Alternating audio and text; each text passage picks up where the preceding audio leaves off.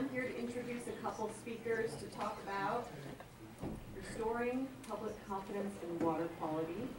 Um, I'm, I'm actually a sociologist by training, so I'm sure I will deviate from the topic by actually broadening the lens and, and, and expanding out to talk about more than just our confidence in water. Um, but uh, I I think we're definitely going to use Gen X as an example to talk here about risk communication. And for our speakers, we have, um, first of all, Dr. Andy Binder uh, from North Carolina State University, and he's going to talk to us about risk communication research. Um, Dr. Binder is a, a communications professor who does a lot with quantitative survey research, looking at a variety of issues that involve uh, how science risk gets communicated to the public, and I assume received by the public uh, when it is communicated. Uh, and we also have uh, Mr. Tim White from the Fayetteville Observer. Uh, he brings 47 years of journalistic and editing experience. He's currently the editor for the uh, opinion page for the Fayetteville Observer, and I trust that keeps him very busy. Uh, I am a mid-basin representative uh, for the Cape Fear River Assembly. I also want to give a quick shout out, since I have a moment here, to Sustainable Sandhills. Uh, I'm currently the vice chair of the board for Sustainable Sandhills, and they are a fantastic organization in the mid-basin. Uh, and some of them uh, were not able to be with us today, but it's because of Sustainable Sandhills that I found the Cape, Cape Fear River Assembly, and I uh, have just absolutely um, learned so much from this organization. Uh, I feel like I'm a part of North Carolina, and I feel like the Cape Fear River is my river. And um, and uh, although I may never understand analytic chemistry, I, I really do feel that uh, I have stretched myself uh, in, in this role with this board. So I want to include, I just want to encourage real quick, uh, those who are here who maybe haven't been here before, to maybe join the board uh, and attend more of the events because uh, this organization does something that other organizations do not do. Okay, so real quickly, I'm gonna, uh, we're gonna start with uh, Dr. Binder, and he's got a PowerPoint slide presentation for us about risk communication and trust. Um, and then we're gonna have some comments uh, from Tim White. And, uh, and if there's any time at the end, I guess we'll take some questions. Uh, I think we've got at least forty-five minutes worth of, of juicy information for you, so stay tuned. Thank you for that introduction. Um, so Tim and I were just talking before the session about how uh, he's got this vast experience in environmental journalism, and I have a lot of experience in um, studying people. I have the privilege of studying people for a living, which is people are messy, right? Um, but I think one of the things that I've learned in the research that I've done on how people develop opinions and attitudes about different scientific and technological topics is that there are some systematic things that we can learn from people, um, and that's what I'm here to share with you today. So I'm going to give you a bit of a kind of high-level, um, some of the concepts we work with in the academic research, and then I think Tim is going to be a really great person to sort of tie in how that works on the ground in the environmental journalism that he's done for decades. Um, so I'm an associate professor of communication, and just recently I was brought in as a co-director of the Community Engagement Core at the Center for Human Health and the Environment at NC State University. So some of the people at that center are doing work on Gen X. It's very uh, interesting and innovative and insightful for the human health impacts. Um, so I'm coming at this sort of as a newbie. Um, I don't know quite as much about the Gen X stuff as I'd like to, but I can share with you what I've learned from other research on risk um, and communication. So basically, uh, I've divided my talk into three different areas. Um, the first area, real quick, is just to sort of recap how people like myself, social scientists, think about risk. Um, so I'm going to share with you some possible definitions of risk. I'm going to talk briefly about different people's interests and values and how those play into how people pay attention to different risks in their everyday lives. And then I'm going to end by talking about um, different aspects of attention, motivation, and action, because those are ultimately what we're interested in in a group like this, in actually um, bringing about action that changes things. So, uh, to begin with, with definitions of risk, whenever I talk about risk with um, people and they might be new to a social science perspective, I like to refer to uh, the Roman god Janus, who famously was facing in two different directions, right? And the way, the reason I like this image is because it sort of highlights how people can see two things from completely different angles and maybe talk past each other, which is one of the things I find when I am engaging with scientists um, and people from scientific backgrounds and how they want to think about how people, how lay people think about something as complicated as risk. And so when thinking about risk in terms of these, the two-faced uh, approach, on the one hand, we have technical risk, right? Which is a definition that many of the people in this room are very familiar with, right? We have risk that we can go out and measure hazards. We can see, we can set levels that might be acceptable levels for those hazards for people to be exposed to, right? We have doses and exposures, we can understand it that way. Um, so that's often how people think about risk.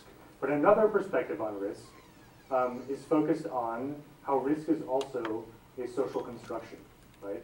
There are certain problems in our society that we focus on and try to solve, and other problems that we do not pay attention to and sort of fall by the wayside.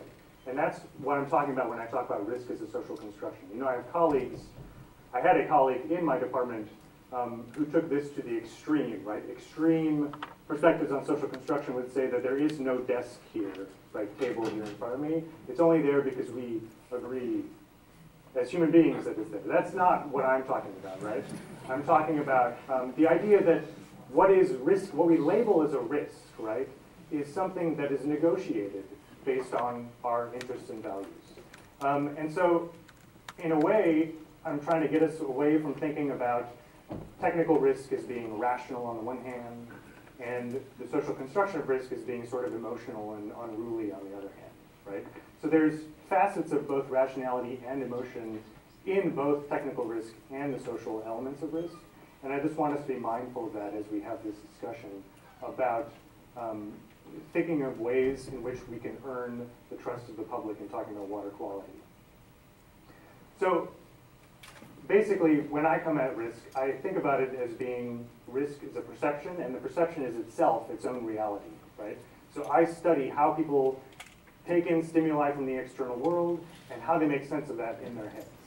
Um, so one of the important points is that acknowledging risk perception as its own systematic response to hazards is important because that's what understanding how people react to these things is an important thing to know. Um, it's you know oftentimes I people come to me and be like, people are so scared of airplanes and airplane crashes. Why are they so irrational? They should be concerned about cars, right? Well, there's good reasons why we're not terrified of getting into a car because I just had to drive two hours on I-40 to get here from Raleigh, right? Like I can't live my life without getting into a car, and so I'm going to maybe be less concerned about that risk and more concerned about something that's more rare but potentially more catastrophic. Um, so risk judgments for everyone, all the people in this room included, all have a basis in our subjective senses and experiences regardless of whose experiences they are, right? Experts versus lay publics. Um, so that's where I'm coming from when I think about uh, risk communication and communicating about these things.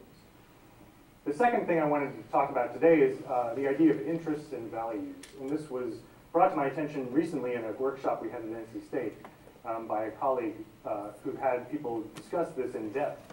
And I thought it was a really interesting idea. So what are our interests and what are our values? And these are actually two very different things to consider, right?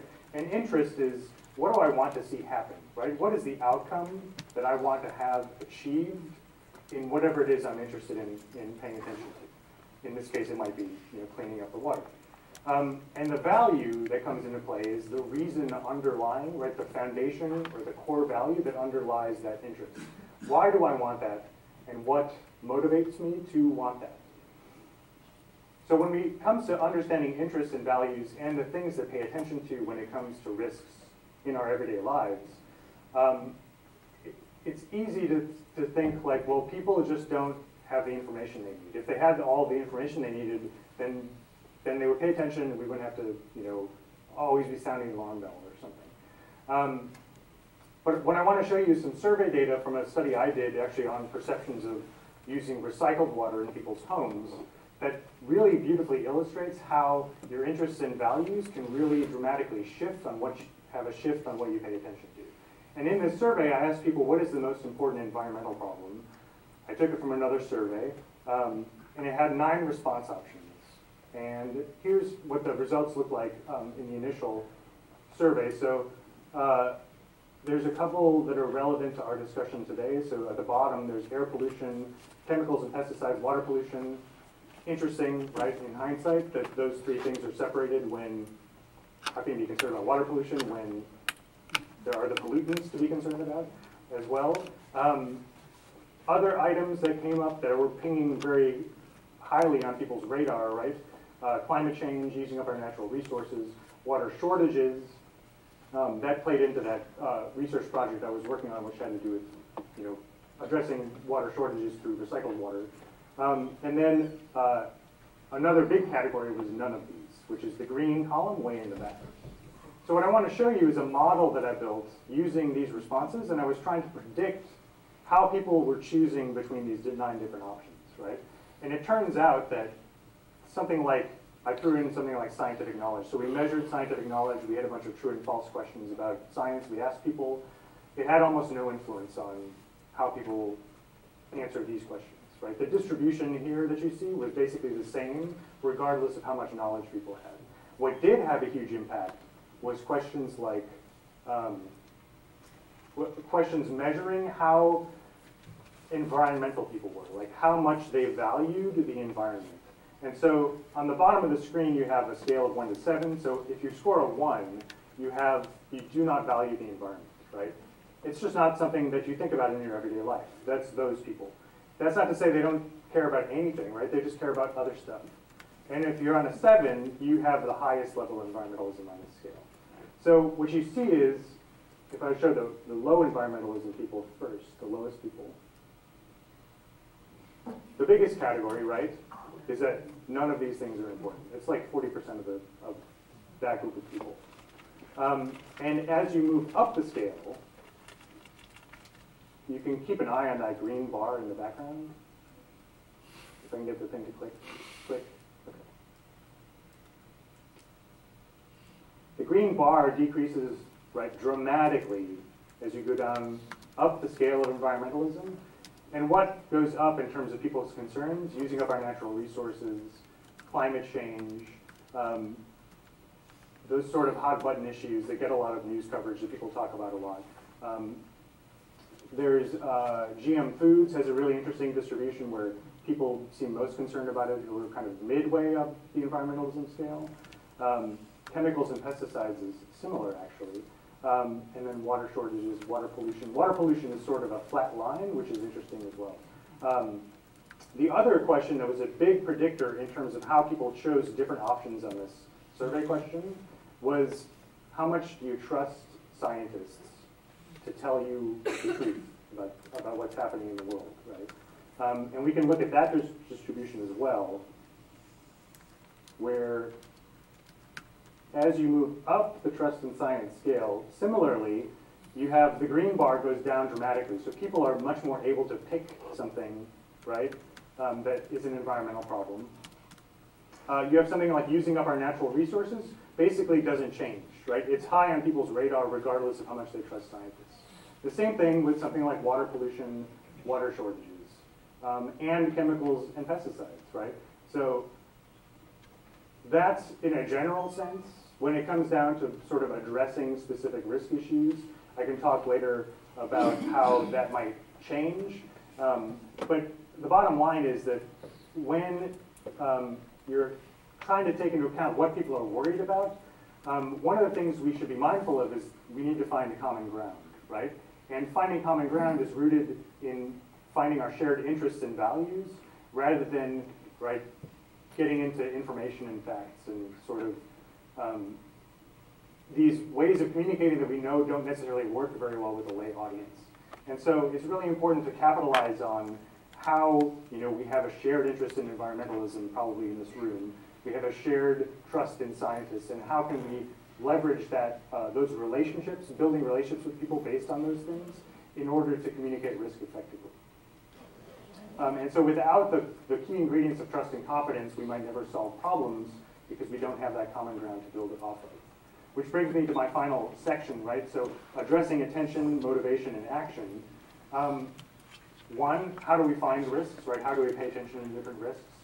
Two, how do we gather political will to develop solutions? And then three, how do we follow through and, and fix them? Um, these are all things that um, kind of come up in different ways in the risk communication literature. One of the ways I like, one of the graphs um, that I was first introduced in graduate school that I, really like a lot um, is this, this sociologist named Freudenburg who came up with this concept of the atrophy of vigilance, right? So for anything that's risky in our lives, we have, we can't worry about everything we should be worrying about all the time, right? We have to be selective. And so one way we do that is that over time, we are vigilant about certain things. And so if you think of just one thing in particular, um, over time, your vigilance on that thing, right, it's a straight line downward, it's probably a little bit more fluid than that. Um, but when something happens, right, when an accident happens, when an event happens related to that thing, um, right, contaminated romaine lettuce, for example, right? How many people are going around now thinking about romaine lettuce? Okay, never mind spinach. What about romaine lettuce? Um, so an accident, an event, right, something happens, and all of a sudden we're paying more attention to this. And over time, as that thing gets lost in the background, we get concerned about other things, we just don't pay attention to it anymore, um, or as much anymore. And so that's one thing to keep in mind is that this is a phenomenon that happens all the time, right? So not everybody's going to pay attention to everything all the time. What does that mean for getting people's attention? Well, two common problems in risk communication are problem one, persistent, unwavering warning messages, right? And problem two is apathetic responses from audiences. So if you're constantly sounding the alarm bell, people are just going to stop paying attention, right? Who remembers this graphic on the right? Right? Where, how, when was it green? Does anybody remember? Never? Blue? I don't think it was ever blue. Like it was always orange or yellow, right? There's always some imminent risk of something happening, but never catastrophic, and it's never like sit back and relax. Um, so as a result, I mean, I, I believe that this whole system was retired because they realized it was serving no purpose, right? If it's always going to be orange or yellow, then then who cares? People stop paying attention. So there's a communication model um, that's really useful in building off of this idea that with a persistent, unwavering warning message, people just aren't going to pay attention. And it sort of it works to explain this, right? So if you look at the top of my slide, I have message number one, like here's a risk, here's something you need to be worried about. If that's all you tell people, what's going to happen is they're going to revert to this idea of a fear control response. And a fear control response means I'm going to focus more on controlling the negative emotion that I feel about the potential for this risk to harm me than I am to do anything about actually doing it, right? Um, controlling it.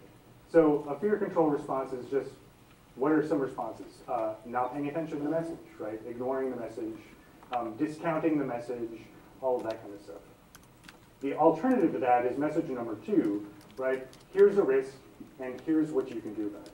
So when we couple the message that is a, a threat message with what is the technical term for is an efficacy message, right? Some sense of efficacy, like what can you do to protect yourself from the risk, then people are much more likely to enter into response number two, which is a danger control response, right? I'm going to focus on the danger and do whatever I can to mitigate my exposure to the danger, to mitigate my continued exposure to the danger, to do something to control um, how that's going to work. Now, I will add one thing, which is in order for this to be effective, right, the thing that you tell people to do actually has to do something. So it's like there has to be a self-efficacy component, so the people have to be able to do the thing, and a response efficacy component, which is the thing actually has to do has to work, right? Um, So when I, uh, way before I was in grad school, I was a Peace Corps volunteer and I lived in Central Africa for two years and I did a lot of HIV AIDS education. I remember one night I was at a bar and this guy was like, I know how I cannot get AIDS. Uh, if I have sex with a woman and it's unprotected sex, all I have to do is go home and the next morning I will pee in a cup and drink my own urine. And I was at the bar and I was like, I don't know what to say to this. like, this is a college educated guy. Uh, but it's a great example of that, right? So like, he, he believed that that would do something, which I guess is a thing, but knowing that it's not gonna, knowing that it's not gonna do anything, right? I don't know. I, it was a very disheartening night um, in my burgeoning youth as a, as a risk communicator. So one of the reasons I like this model is because it can, it can inspire action at different levels of engagement. So the citizen who's concerned about their family, you can tell them what to do to protect their family, right? Here's a problem and here's what you can do to protect your family. You can also think about it in terms of messages to elected officials, right? Here's a problem and here's what I need you to do to protect my family and earn my vote, right? Or I'll go to the other person.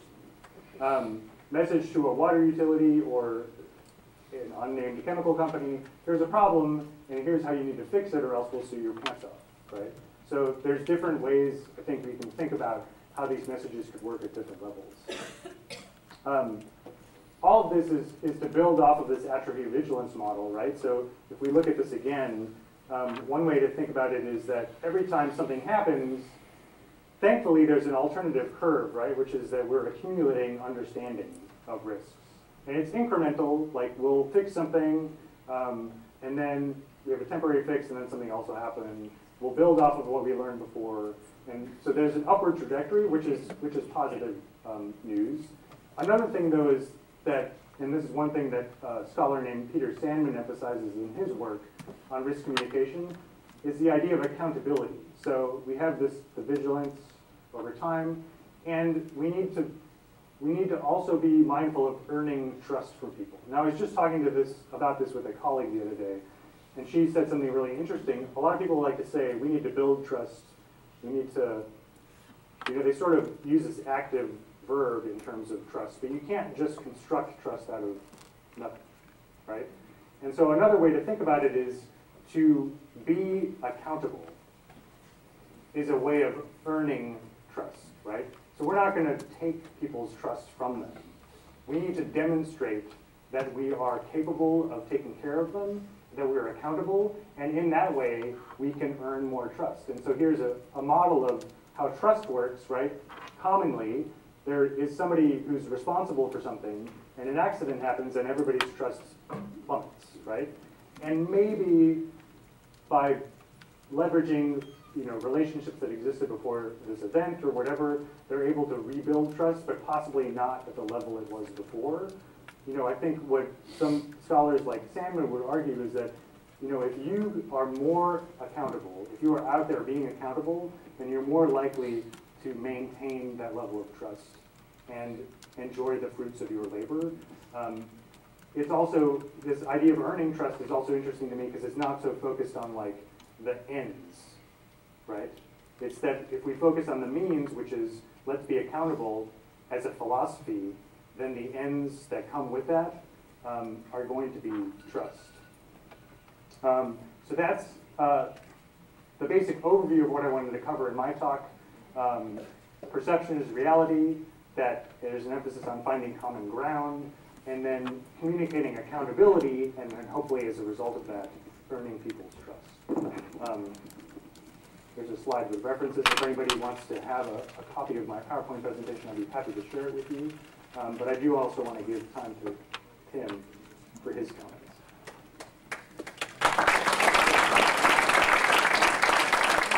I'm pretty sure we're going to be posting these PowerPoints at some point on our website for the Cape Fear River Assembly. So if you feel like you missed something, um, yeah, and the video uh, which I now realize self-consciously that I'll be starring in for my five minutes of fame. And so I'm, we're gonna let Tim White roll here um, and respond by giving us some examples of how he sees this applying to the, the Gen X controversy, which I know he has been writing about on the op-ed pages, because I've Just- been just a following little bit. closely. just a little bit every now and then, occasionally. And, uh, you know, I, I, I come to you today um, with no answers. Um, I'm a journalist. Um, I'm an opinion journalist, that's even worse. Uh, we're, we're, we're generally defined as the ones that come down out of the hills after dark to shoot the wounded. Um, so, you know, I'm not gonna be able to solve all these problems, but I, I do come with a lot of questions.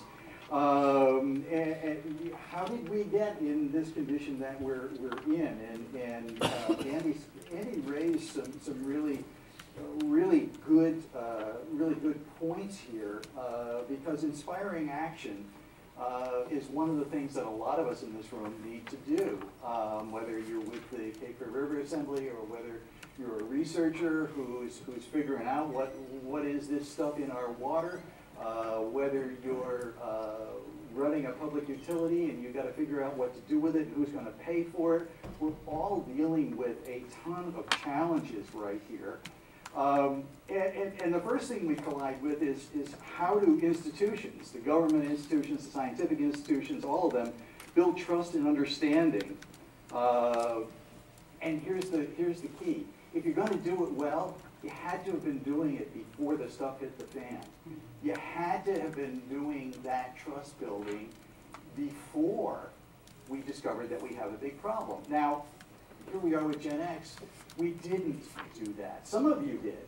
Some of you did. You know, I'm, I'm listening to the, to the uh, Public Water Authority presentation about this wonderfully open uh, relationship you have with your customers where, where they call in and say, I've got a problem, what's wrong with my water? And you do your dead level best to answer them. Um, that's not exactly what we've seen from our, our General Assembly, from our, from our legislators. Um, you know, this, they have the more typical approach of saying, what problem? I don't see a problem, there's no problem. And if there is a problem, the companies will take care of it for themselves because it's in their best interest.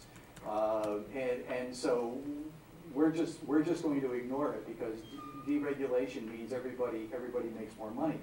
Um, how's that working out for you these days? Uh, if you're a, a member of the General Assembly from, from this, this part of the Cape Fear region? Probably not as well. But here's another question. How does this translate to lawmakers across the state? You know, one or two people may lose their political jobs in, in this region unless they really get with it and really work very hard to deal with the Gen X, et cetera, uh, pollution problem. But, um, but they're a small portion of, of our General Assembly. What's everybody else gonna do? You know, are we, are we going to be able to get enough people in the General Assembly to actually do something about it? And, and, I mean, we see a wonderful illustration right now. The House gets it apparently. Um, the House bill that's, that's before the General Assembly right now, um, looks like it's got some pretty good stuff in it. Um, it, it looks like it was actually tailored to try to meet some needs. The Senate bill clearly seems, to me at least, to be engineered to see to it that it gets even more difficult to, to be a regulator in, in the state of North Carolina. Uh, that, that they're changing the rules, um, but they're not giving anybody any extra tools. So what do we do? Um, this is, what, what do the press and the public do when we have these multiple agencies? We, we got, we got some that are doing the right stuff and some that are doing the wrong stuff. Um, what do the press and the public do uh, about this? And, and, and here's, here's the trick. Everybody who's got a stake in this, in this game has to get involved and speak up. Um, hiding out doesn't work. Um, thinking that somebody else is gonna take care of it doesn't work really well. If we're going to assess, assess that we've got a risk, and, and, okay, we, we all, we're all sold, everybody in this room is certainly sold. Um, probably most of the people who live in the Wilmington area, in Hanover County, they're pretty well sold. Um, but the people that are the bulk of my readers up in Cumberland County, hmm, some of them are sold. Especially the ones that live in southern Cumberland County who can't use their wells anymore, they're really sold. Um, but, but the people who live in Fayetteville, who are well, who get their water from quite a bit upstream of, of the Chemours plant, they're saying, oh, you know, there may be a problem down there. Gee whiz. So what do you folks do, whether you're doing research or whether you're trying to influence public policy? How do we all go to the people of Fayetteville or the people of Greensboro uh, or, or the people of, well, I was gonna say Asheville, but Asheville's, they're already sold. Uh, Everybody in Asheville is, is busy hugging trees, so they're, they're, they're all, they're all fine. Um, but, but, you know, how do you, how do you sell all of these other people? And, and one of the things you do is, is what bless them our, our state DEQ regulators are doing, and that is they're trying to assess the level of threat across the state. Um, what's out there? You know, I, I, I work in Fayetteville, but I live up in, in Chatham County. Um, so I thought, well, wait, I, I got no problem, and, and now I'm hearing bromides in Pittsboro water. I live near Pittsboro, right? Bromides, uh, uh, how about dioxane? Oh, that. What, we all gotta talk about that. We gotta talk about all of these threats, not just GenX. I mean, this is, I, I think it's the biggest revelation that we've had in the last couple of months is that it ain't GenX. It's a whole bunch of bad stuff that's out there, or potentially bad stuff. And we all need to talk and speak up and communicate a message to the people who can make something change. Um, and, and, and you know, what, what do you do? The scientific community, for example, how do you effectively communicate with largely non-scientific media? That's us, me, English major, right? Good luck. Uh, did I understand a lot of the technical uh, stuff that was going on this morning? No, I did not. But you, as, as the science community, the research community, I gotta try and understand what you're doing, and you gotta try and speak in ways that I will understand it. Because I'm, I'm your route to communicating it. I can help you communicate it. I can, I can do it. If you've, if you've never sat down and talked to a journalist, I, I, I suggest you do it. Um, before, again, the stuff hits the fan, you know? Do you know the journalists in, in, who cover your community, who cover issues in your community? Have you met them? Um, you oughta. Um, we love company, you know, we, we, we're real happy to talk to people. Come on in, have a cup of coffee, and, and tell me what your issues are. I love doing that. Most people in my business love doing that. Um, you can't assume that we're gonna understand everything that's going on out there. In fact, you should assume that we're not gonna understand what's going on until you come in and give us a really good and careful explanation of what it is you're finding and why it's a problem. And maybe we'll brainstorm together about what are the answers. How do we, how do we make change happen?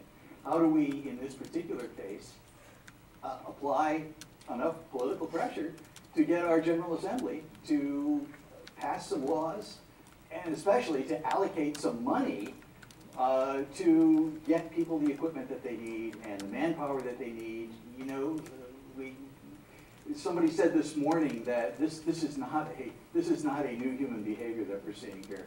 Uh, North Carolina has been quite welcoming in, in a whole lot of ways to industries and their, and their effluent for a lot of generations, not just a few years. Um, we've said, y'all come on down and, and we won't look. And um, when it's been certain kinds of, of effluent that's going into our waterways, well, it's okay because they do kind of clean themselves up. Some of the old stuff, you know, I mean, that, that hog waste is not, you know, uh, before we got into factory farming anyway, that hog waste wasn't, wasn't all that bad. Uh, now we're into factory farming, it's a different question. But, you know, ultimately stuff gets diluted. But when you're talking about stuff that's dangerous in parts per trillion, um, that's a different ballgame. And we need to, we need to apply different answers to it. But uh, but we all gotta work together if we're gonna do it, and, and then, you know, how does, finally, how does a government agency that's responding to an environmental or regulatory question, uh, regulatory crisis, establish credibility when its elected leaders have already firmly established themselves in the opposite direction of being anti-regulatory? Um, you know, something's got to give here in North Carolina if we're gonna if, if we're gonna have safe water.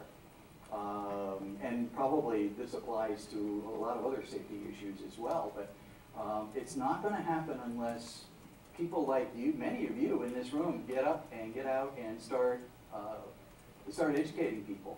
Talk with the press, talk with the public, uh, be open and honest about what you're finding, uh, be prepared to explain it in, in layman's terms. Uh, Here's, here's a secret, if you can, if you can get the reporter to understand it, by God, everybody will understand it. Especially if they get it right in their stories, then, then everybody's gonna understand what's going on, but, you know, I mean, I guess, I guess my bottom line message is, is that what we're learning here is what people have learned all across the country in a lot of crises just like this, is that if we wanna fix what's broke, we all gotta work together and we all gotta speak up. And if we do that, maybe we're gonna get something done. And I'd love to have questions or discussion or uh, uh, serious strenuous objections. Uh, Any questions? Already brewing? Yes? I don't have any questions, I just want to thank you for your uh, editorials throughout the year. I think they've been amazing. Thank you. What's an editorial page editor without issues, right? Huh? Unemployed. I, I, I- I mean, I would just like to quickly say that, because I had a chance to review these PowerPoints beforehand, so I cheated on the test. Um, there is a connection here, I think, that is uh, conveniently I can fill as a sociologist. People have perceptions about risk, but one thing I know as a sociologist is what people do and what people say they do are almost never the same thing. We're all sort of non-rational beings, and when we get together collectively, we're even more non-rational than we started. And which is, which is to say that I like to think that I always do the best thing, and that I always recycle, and that I don't, um, I, I don't put pesticides on my lawn, and, right, and so on and so forth. And yet, um, I do and have done these things, and, and, but I'll never do it again in the future, right? Um, so there's this, there's this non-rational component, and so social organization around a social problem, like our polluted river or our polluted waterways globally, is this incredibly complex, giant problem that we can only solve if we rationally choose to respect one another's expertise, right? Which goes for us as, I'm a social scientist, I have to respect the analytic chemist, I have to learn to respect it even when I have difficulty understanding it and would like to dismiss it because it makes my brain hurt, right? And, and, and similarly, I have to respect the political process, even though it's very slow, I have to respect the legal process, even though it's definitely, definitely way, way too slow and intrusive. So, I- we're actually talking about like a, uh, a, a need for rational collective action, which is what sociologists specialize in, right? And it takes all the stars in alignment for that to happen in cooperation, that's, right? We all have to actually, uh, give, give credence to one another's expertise, including the local experience of being the person whose waterways are polluted, who has to decide whether they're gonna drink the water from the tap or give it to their children. Um, and so we kind of have brought together, I mean, this brings up, yeah, all the different issues. More burning questions that, or about, um, risk communication. Yeah, I just wanted to take a moment to ask Andy, you, you gave the example of why people worry about getting on an airplane, who don't worry necessarily about driving the car. And I know there's a set of factors that kind of influence that. I wonder if you could mention a few of those in terms of what makes one risk seem more serious than another. Sure, I mean, there's so many.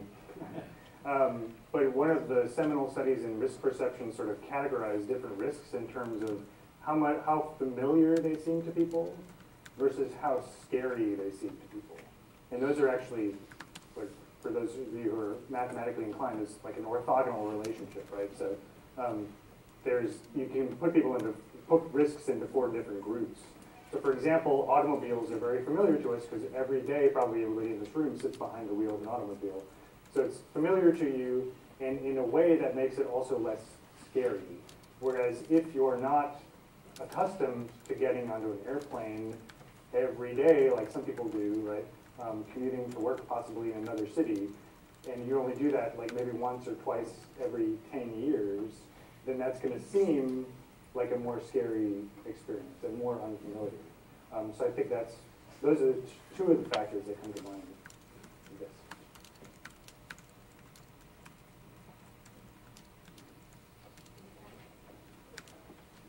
Listening to your, your comments, uh, let me ask you to step aside from the profession and offer us an opinion. Um, When I talk to a lot of people, I get this one particular answer that bumfuzzles me on how I can handle it. So give me some advice here on this. A lot of times I'll ask people, well, why don't you throw that can away because, you know, it cost us a bunch of money? Or why don't you not throw that out your window as you're driving along? Or why don't you do this? I get this one answer that always sort of bumfuzzles me, and that is this. They'll say, man, I don't wanna throw that away, but heck, nobody else does.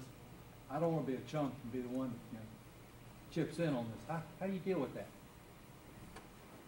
Uh, me personally, or how do I that function? All three of the people on the panel, I'm asking.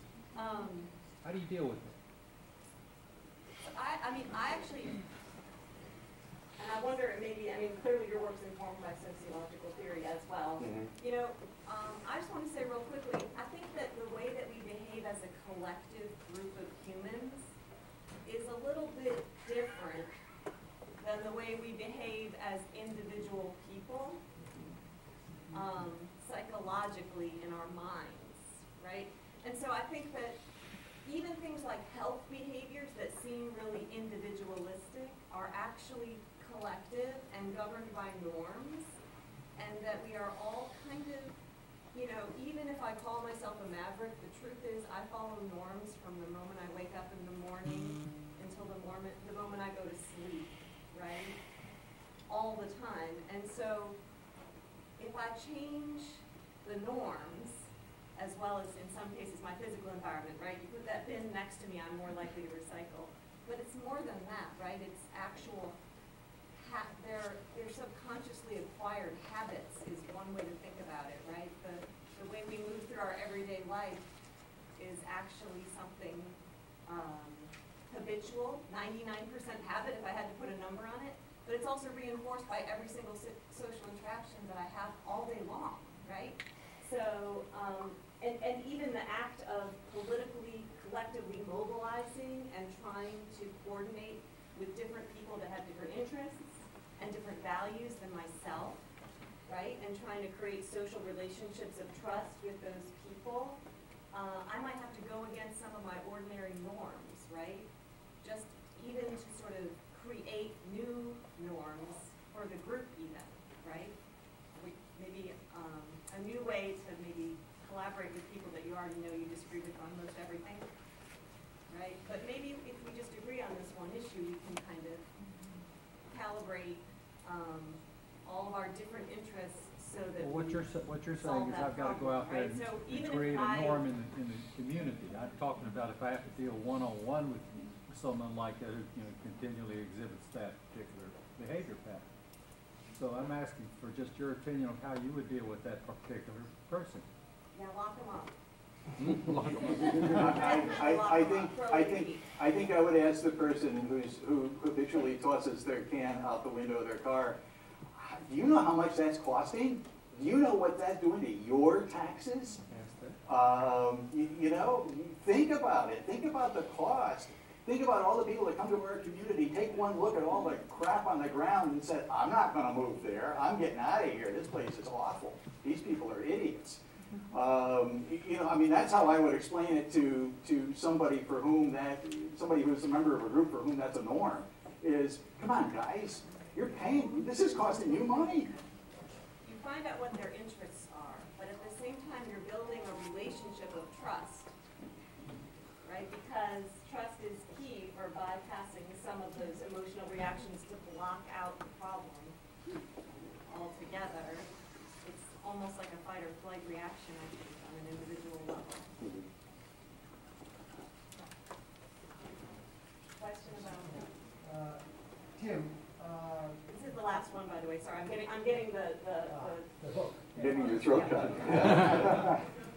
Tim, first off, thanks for your editorials. Uh, They're, they're wonderful. Thank you. Um, I was wondering if you could expand on what you feel the importance of the federal standards that are uh, headed our way uh, from the EPA in relation to GenX. Do Well- you think that will have an impact? If we actually get some and they're meaningful, um, that's, I mean, that's the first question. It- Ask me why I might not fully trust the current iteration of the EPA. Uh, But, but if, I mean, if they're serious and if we really do get them, um, and if they unbury that buried study that, that says that, that um, we're allowing, that, that, that the current standard is way too high, and that for certain risk populations, it should be like six or seven times lower. Um, it- it- You know, this, this state, in in Raleigh, folks say, well, we're not gonna do anything more severe than, than the feds do. Um, well, if that's the case, if the feds are gonna be our guideline, then, then it could, uh, it, it could be extremely helpful in North Carolina. Thank you to our Thank you. speakers. I hope that they're gonna stick around, um, and we're, we're due for, uh, uh, uh, I think, I think Tom is coming to tell us that we're due for a break um, but you've been a great audience, thank you so much.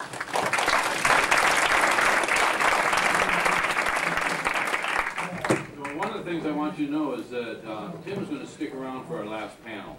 I want you all to stick around for it too, because it's really going to be interesting. It's like what is important to the future for water. And before you go out to your break, I want to call attention to a couple things and a couple real generous people who are actually sponsors. If you haven't seen these really cool pens yet, be sure and pick one up at the registration table. They're my favorite because they got a stylus on the end that you can use, you know, on your smartphones. And then as you walk around out there, you're gonna see some buckets filled with some really nice snacks. I don't think she knew that she was even gonna win the award, but she went ahead and brought the, uh, the celebration food. Lisa brought some, uh, you know, snacks that she picked up. So there also, you know, there'll be some, uh, beverages, but this is also the time when you can take a look at all the posters, talk to each other, and, uh, and that's it. We'll be back in a little while. Like I said, the next panel, you definitely want to see.